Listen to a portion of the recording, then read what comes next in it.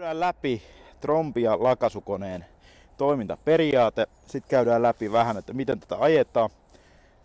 Esitellään myös nämä meidän lisävarusteet. Tässä kyseessä koneessa on itse meidän uusi lisävaruste, joka eilen vasta tuotiin ensimmäistä kertaa julkisuuteen englanninkielisessä esittelyvideossa. Mutta se on ennen kaikkea pohjoismaiseen hiekanpoistoon suunniteltu, joten, joten sikäli ihan varmaan kiinnostava. Ää, Trompia lakasukoneen isoin idea on tietysti lähteä tarjoamaan pyöräkuorma- ja urakoitsijalle imulakasukoneen työjälki. No tosiasiassa moni imulakasukonekin jää jälkeen tietysti Trompian puhdistustuloksesta johtuen siitä, että me pidetään tuo keula puhdistusalue koko ajan täysin kuivana. Pölyn hallinta Trompiassa on toteutettu syklonilla. Meidän pääpölynhallintamenetelmä on tuolla kopan sisällä oleva syklonierotin, joka puhdistaa sitä sisään tulevaa pölyistä ilmaa koko ajan. Me tiedetään hyvin usein kuultu se kysymys, että onnistuuko, onnistuuko niin kuin trombialla putsata sepeliä, isoa pölypatjaa, kun se sykloni on aika rajallisen kokonen, niin, niin hy, se on ihan validi ja hyvä kysymys. Meillä on vuosien varrella kehittynyt tähän syklonille avustusjärjestelmä, joka mahdollistaa myös ihan äärimmäisten olosuhteiden käytön. Käytännössä tarkoittaa sitä, että tuossa missä näette ton kameran, siinä kohtaa aika tarkallaan puhaltaa hieno vesisumu todella marginaalisella vedenkulutuksella, jonka läpi se pölyinen ilma kuljetetaan. PM2.5-sertifikaatti Trompia on maailman ensimmäinen ja ainoa työlaite, joka tämmöisen imulakasukoneiden sertifikaatin on saanut. Me on suoritettu testit, standarditestit samoissa olosuhteissa kuin kaikki imulakasukoneet ja ollaan täsmälleen samassa kategoriassa kuin ne puolen miljoonan vempeleet, joita kaupungit monesti ostaa myös lakasutyöhön. Trompian filosofiahan on se, että me puhalletaan tuohon keskellä edessä olevan harjan taakse ilmaveitsi, joka irrottaa hienon pölyn. Harja toimii kuljettimena sille pölylle sekä mekaanisena harjana kaikelle harjattavalle hiekalle, karkealle tavaralle. Harja heittää yläkautta tonne säiliöön, joka on 1,8 kuution säiliö. Eli keräyskapasiteetiltaan trombia on samaa kokoluokkaa kuin puhutaan esimerkiksi näistä, näistä pienistä lakasuautoista. Puhherit, citycatit ja, ja swingot esimerkkinä mainittakoon. Hiekan keruukyky on luonnollisesti tehokkaampi kuin mekaanisissa harjakoneissa. Säiliökoko pelkästään tekee sen, yläkautta täyttö on toinen ja se iso asia on, on harjausnopeus. Kun lähdetään harjaamaan tuossa tänään, niin nähdään vähän nopeuttakin vielä. Sivuharja on käytettävissä. Meillä on nykyisin mahdollisuus saada myös vasemmanpuolinen sivuharja. Hydraulikat on käytetty loppuun pyöräkuormaista siinä vaiheessa niin, että, että toista sivuharjaa voi käyttää kerrallaan mutta, mutta jos sen haluaa, niin se onnistuu kyllä se toinenkin vasemmanpuoleinen sivuharja. Hydrauliikkaa me tarvitaan yksi hydrauliikkapari ja tankkilinja. Eli tankkilinjalla vapautetaan puhaltimen ylipaine, puhallinmoottorin ylipaine, jotta ei lähde Stefat lentelemään. Sähköä sä tarvitset 24 volttia tai 12 volttisen järjestelmän, mutta sä tarvitset 10 amperia, eli sen takia meilläkin on tämä työkonepistoke eikä tupakasytytin esimerkiksi tuota ohjaamosta. Tupakasytyttimissä on usein 5 amperi inverterit välissä ja ne, ne kyykkää kun trompia ottaa sähkön sisään. Muutamia lisävarusteita on tässä koneessa jo viriteltynä, niin, niin näette tuossa on meidän Nordic Sweeping Kitin putkisto se on ihan semmonen ääriolosuhteisiin. Mä sanoisin näin, että jos on, jos on pahin hiekanpoisto kevät, pölypiha, mikä pitää mennä vetää, tota kannattaa ehkä siinä vaiheessa harkita, mutta ei missään muussa tapauksessa, koska, koska se alka, sit jos on yhtään liian, liian niin kuin puhdasta trompialle se alue, niin silloin toi alkaa jo kostuttaa tienpintaa. Mutta käytännössä toi auttaa siinä, että se muuttaa sit pölypinnasta pienen määrän pinnasta kar- painavammaksi tavaraksi ja jälleen kun se kerätään sitten tonne sykloniin, niin sykloni saa edet, otettua sen pölyisen ilman kerralla sisäänsä silloin. Sama vaikutus periaatteessa kuin mikä tuolla sisäsuutinputkistolla on, mutta toi on niin kutsuttu Nordic Sweeping Kit. Muutama perusasia pyöräkuormajan säätämisestä trompia ajoon. Oleellista on, että sä tiedät mistä sä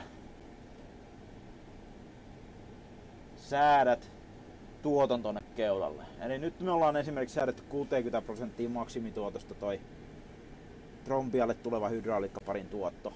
80 litraa viiva 100 litraa minuutissa on maks- semmoinen sopiva maksimituotto, mitä tuonne tulee. 80 litraa trompia tarvitsee täyteen toimintaansa. Liikaa ei kannata ihan vaan moottoreiden öljyn kuumenemista ja vastaavien takia sinne tuupata. Toinen mikä pitää osata on tietysti lukittava harjahydrauliikka, joka, joka JCPssä tapahtuu ainakin tosta tota nappia painamalla ja sitten rullaa pohjassa. Noin, nyt meillä on hydrauliikka päällä.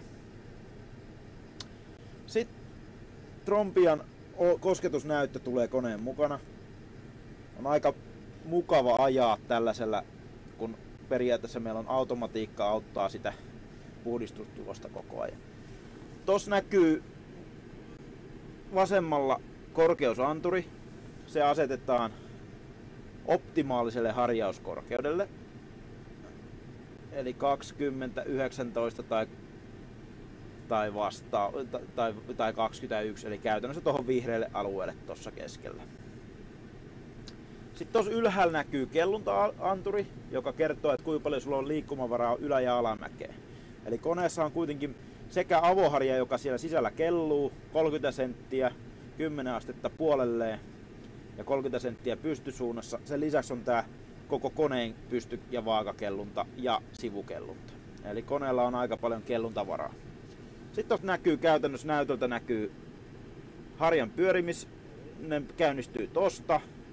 Sivuharjan aktivointi, sivusiirtotoiminto, jota moni kun miettii trombia ketteryyden näkökulmasta, niin tuossa on yksi iso esimerkiksi satama- ja terminaalipihoissa niin todella kätevä kontin, kontin sivulta ottaa.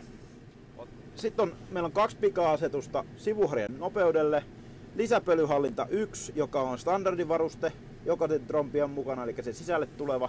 Ja sitten on tämä Nordic Sweeping Kit painike on nyt tuossa alla sitten, jolla saa vielä lisää pölyhallintaa, jos haluaa. Luukku tyhjennetään nostamalla se lavan päälle ja käyttämällä noita kahta viimeistä nappia tosta auki kiinni. Ja vihreä valo sielläkin indikaattorina, että milloin on, milloin on luuk, niin kuin luukku kiinni. Eli nyt se on vihreänä, niin se tarkoittaa, että se on kiinni. Meillä on harja harjausasennossa, meillä on hydrauliikka päällä. Eli me, seuraavaksi me vaan painetaan tosta harja päälle ja nyt näkyy tuolla RPM-kierrokset rupeaa kertoa harjan pyörimisnopeutta. Ja nyt harja pyörii tyhjäkäynnillä tämmöistä vähän kylmät hydraulikkaöljyt mahdollisesti, mutta annetaan vähän jerkkua lisää, niin saadaan se nousee sinne.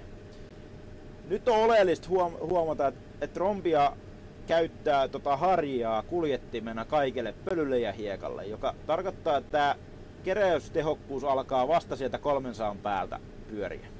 300-350 kierrosta on semmonen tehokas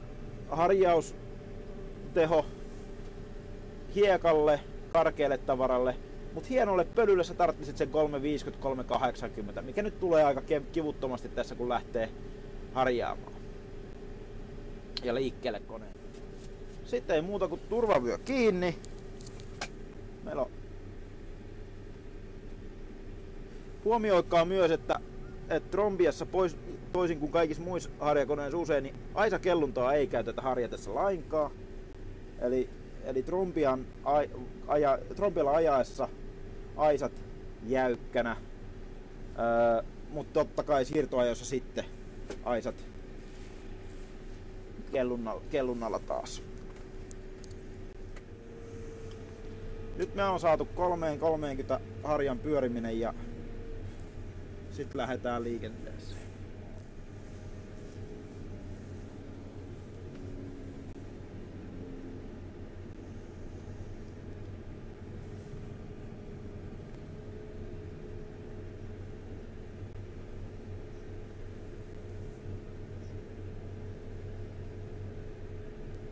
Tänään oikein pölyinen kuiva päivä, niin on hyvä lähteä näyttää vähän, että mitä, miten se trombian pölyhallintakin toimii sitten, kun lähdetään liikenteeseen.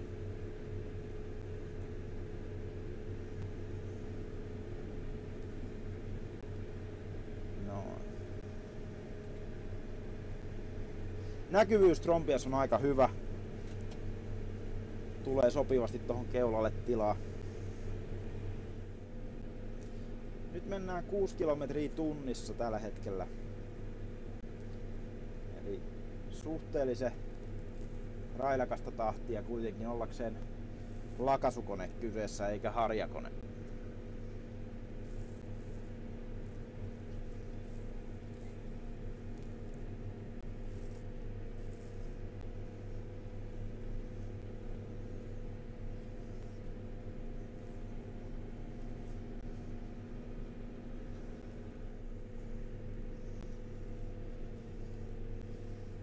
Mä käytän sivusiirtoa tuohon kanttarireunaan pääsemiseen, niin ei tarvitse välittää renkaista niin paljon.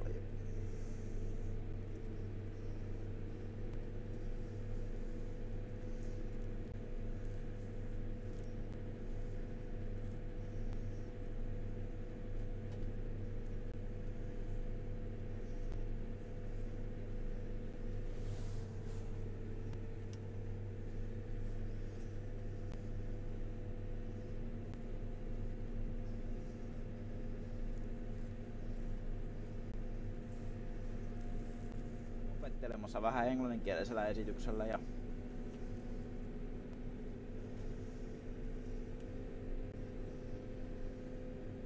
sieltä sielt löytyy ainakin toiseen suuntaan mennessä löytyy vielä hiekkaa kerättäväksi meinaa.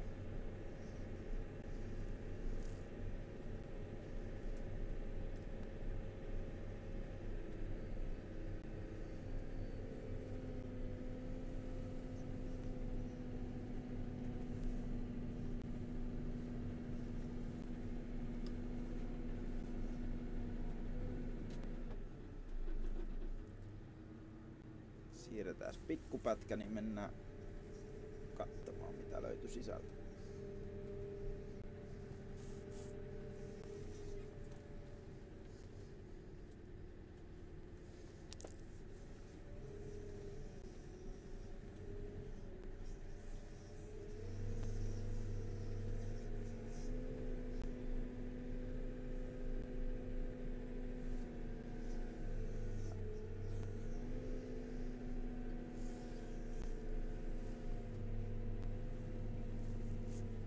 Noin, me ollaan nyt, tultiin parkkiin sen verran, ollaan tässä kohta lähdetään tota vetää jalkakäytävää vielä perään, mutta käydään katsoa välissä pikkusen mitä löytyy syklonista. Eli moni varmaan katsoi tuota äskeistä pätkää, että siinä on tosi vähän putsattavaa, mutta nythän se nähdään sitten, että onko siellä oikeasti vähän putsattavaa vai ei. Eli me avataan tosta pikkusen luukkua, raotetaan vaan noin. Sitten käydään katsomassa, että oliko se puhdasta vai ei.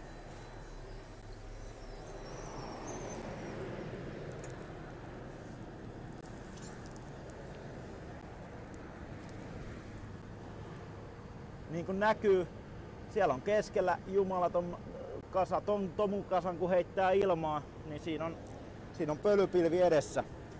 Eli, eli ei se nyt ihan puhdasta ollut se jalkakäyttäjä tai tienpätkä, mitä me vedettiin kyytiin kuitenkaan. Trompia ottaa ton hienon pölyn kyytiin aika nätisti. Laitetaan tosta aisakellunta päälle. Me halutaan vetää tonne mäen alkuun, kun siellä loppuu harjattu alue. Vedetään siirtoajoa vai päälle Eli nyt on aisakellunta päällä. Jos, jos siitä näkyy aurinkoa vasten mitään. Sitten mennään. Eli tässä näyttää puhtaalta pyörätie, niin sen takia ohitetaan tyhjä, puhdas pätkä. Tätä vedettiin eilen Jenkkilähetyksessä.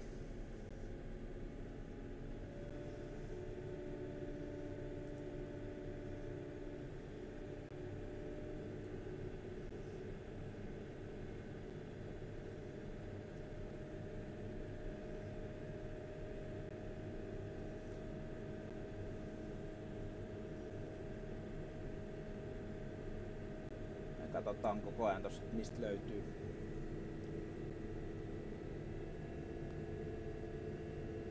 Alkaa hiekka, hiekkarajat löytyy kohta tosta varmasti.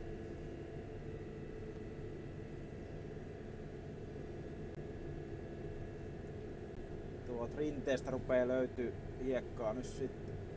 Sinne vedetään tosta ylämäkeen suoraan sitten. Ja nyt sitten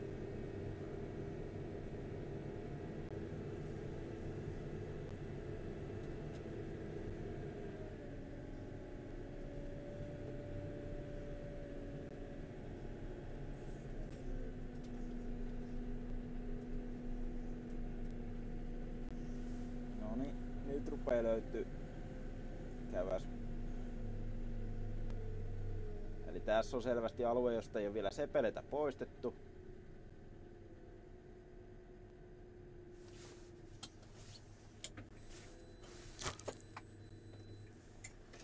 Käväs katsoa, että minkä näköistä tavaraa meillä olisi putsattavana. Tämmönen tämän talven pääkaupunkiseudun sepelimäärä toi tosta vähän kasvaa kyllä matkan varrella, mutta täältä niinku se sepelikerros löytyy.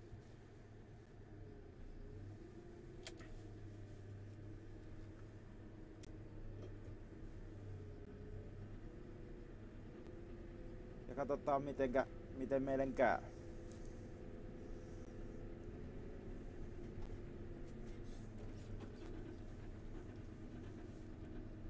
Muistetaan pistää Aisa-kellunta pois päältä, vaikka olisi live-lähetys.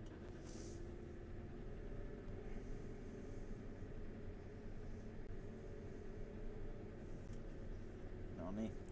Nyt vedetään jalkakäytävää puhtaaksi. Meillä on 5 kilometriä tunnissa. Eli käytännössä meillä on, meillä on tommonen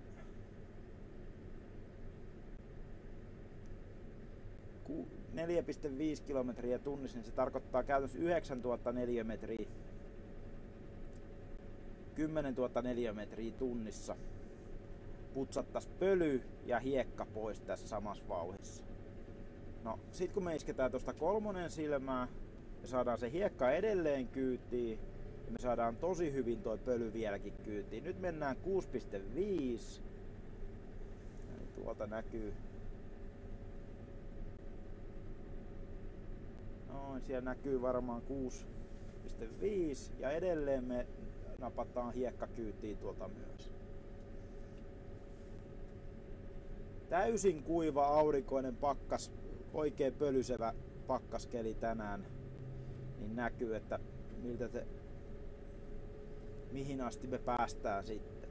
Käytännössä trompian kanssa se pölyäminen pöly on niin kuin hallinnassa niin pitkään kuin sykloni pysyy toiminnassa. Sykloni lopettaa toimintansa siinä vaiheessa, kun sä oot vetänyt sen täyteen. Eli, eli ei käytännössä mistään muusta syystä. Eli sykloni on loppuun viimein aika yksinkertainen kapistus. Ja sitten kun sä vedät sen pölyn, pölyä täyteen, se kukkurallinen, mitä me katsottiin äsken, oli aika maltillinen vielä, mutta kun se siitä kolminkertaistuu, niin sitten se sykloni on täynnä. Sen jälkeen sun pitää tyhjentää tämä kone. Eli monesti on nähnyt niitä ensimmäisiä käyttö, käyttökertoja uudella trompialla asiakkaalla on se, että, että sitä vaan ajetaan ja ajetaan ja sitten yhtäkkiä huomataan, että oho, rupeaa pöllyttämään, niin se johtuu yleensä siitä, että siellä on vaan vedetty innossa, innolla se puolitoista kilometriä pölyä kyytiin ja sykloni alkaa olla täynnä. Ja niin kuin näkyy, niin ei tässä puhtaalla koneella silloin, kun kone on pesty hyvin edellisenä päivänä ajon jälkeen ja, ja tota, mennään eteenpäin, niin ei ole ei ole pölyn, pölyn kanssa ongelmaa. Päinvastoin puhdistusjälki tulee tosi puhtaaksi tältä.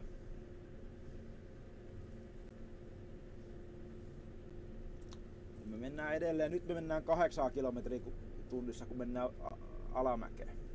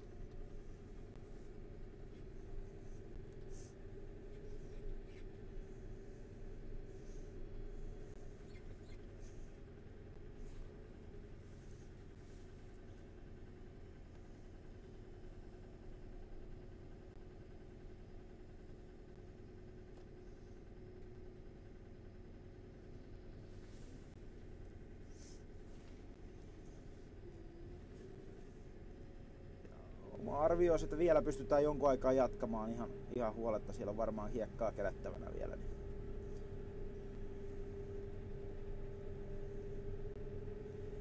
Totta kai meidän live-lähetykseen valitaan näitä parhaita trombian käyttökohteita, eli esimerkiksi pyöräteiden putsaaminen jo hyvissä ajoin talvella yöpakkasten aikaan. Että tätä kuitenkin pystyy tätä, tätä jalkakäytävän putsausta pystyy tekemään todella tehokkaasti.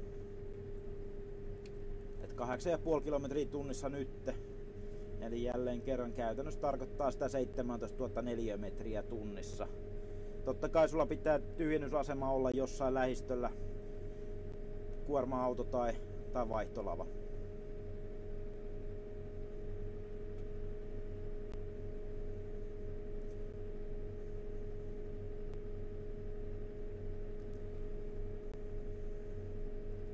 Ja ruudulla näkyy, niin meillä on koko ajan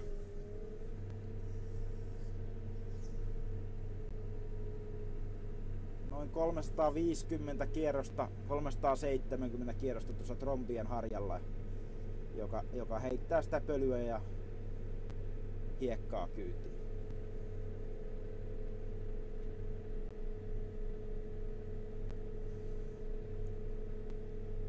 Tää on kyllä ihan itse asiassa keräämätön sepeli on tällä, tällä jalkakäytävällä vielä. Täällä on ihan kunnolla tulee tuota tavaraa tuossa vastaan.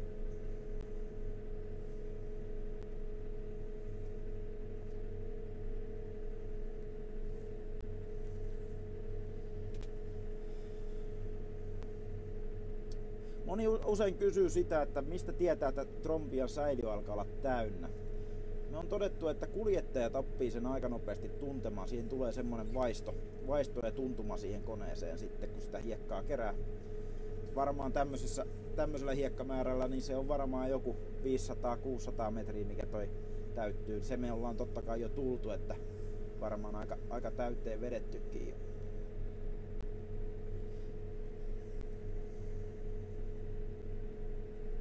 Nyt tuot rupeaa pikkuhiljaa hönkiin vähän enemmän sitä pölyä tuolta ulkoa, eli selkeästi huomaa sen, että nyt rupeaa sykloni täyttymään, jotenka me tiedetään, että meidän pitää viimeistään tässä vaiheessa tyhjentää. Me ei haluta ollenkaan kuntalaisten silmille minkäännäköistä pölyilmiötä aiheuttaa, joten nyt nostetaan kone ilmaa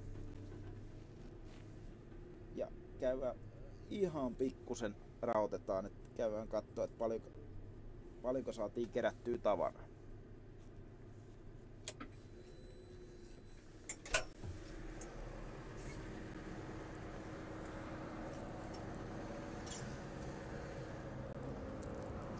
Siellä on syklonia. Tavaraa on kuution verran tiputettu jo tuohon lattialle melkein, maahan melkein. Ja siellä on sykloni tuolla keskellä aivan, aivan alkaa olla kupruvoimia. Olisi voitu jonkun aikaa vielä jatkaa varmaan.